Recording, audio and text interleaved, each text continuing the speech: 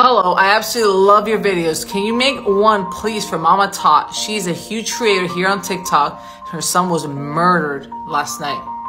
Oh my god, like, I still can't believe things like this are happening. Like, why? Oh my god. And you know what's crazy?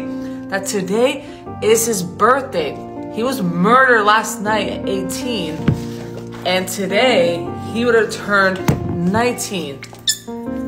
Oh, I I'm so sorry like that this is happening in your family.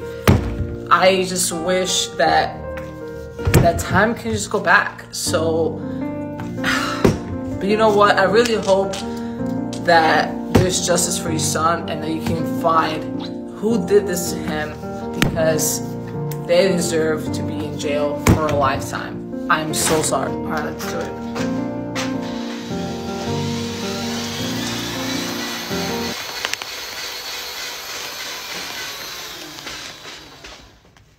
Oh my God, may he rest in peace. Mwah.